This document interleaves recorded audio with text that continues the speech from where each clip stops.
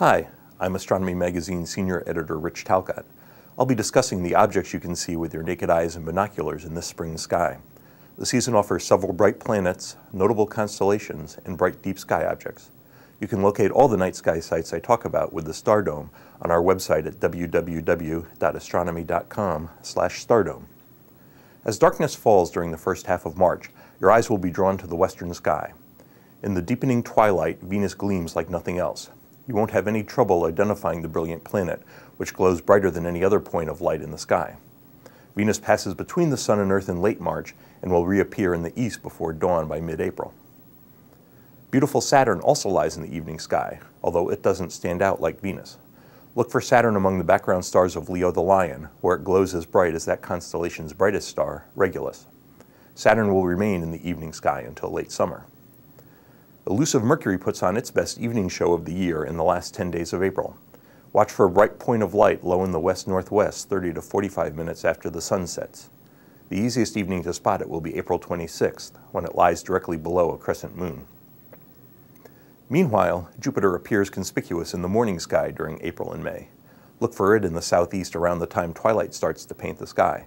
Only the planet Venus shines brighter than Jupiter. Spring's starry background has its own charm. Those of us in the northern hemisphere have a signpost in the spring sky, the bright asterism of the Big Dipper. Seven bright stars in the constellation Ursa Major, the Great Bear, create the Dipper's shape.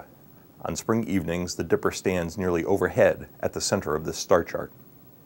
Use the two stars at the end of the Dipper's bowl, called the pointers, to lead you to the North Star, Polaris. Extend the line between the pointers, which lie at the bottom left of this photo, and extend it about five times that distance. Polaris is the brightest star in the Little Dipper and forms the tip of its handle.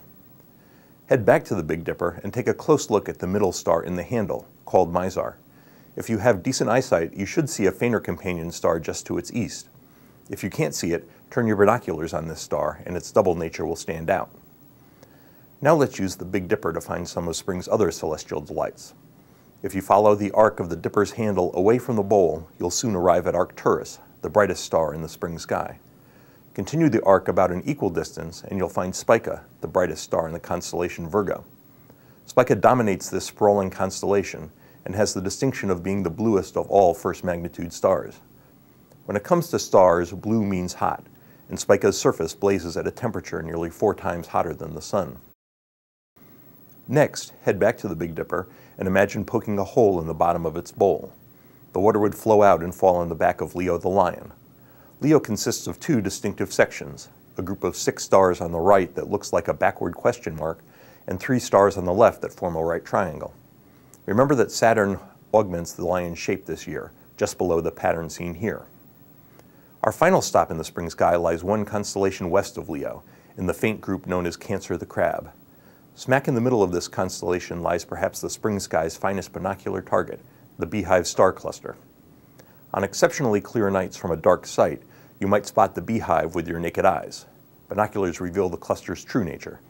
Through 10 by 50 binoculars, you should be able to see at least two dozen stars packed into a circle some three times wider than the full moon. It's a sight you won't soon forget.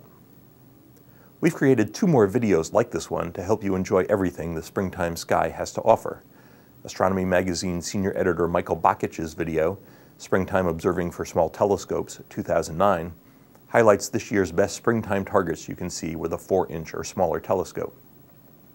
Astronomy Magazine editor Dave Eicher's video, Springtime Observing for Large Telescopes, 2009, highlights this year's best springtime deep sky objects you can see with an 8-inch or larger telescope. Both of these videos are available for Astronomy Magazine subscribers at astronomy.com/videos. I'll be back again this summer to talk about what's on view during the warmest nights of the year.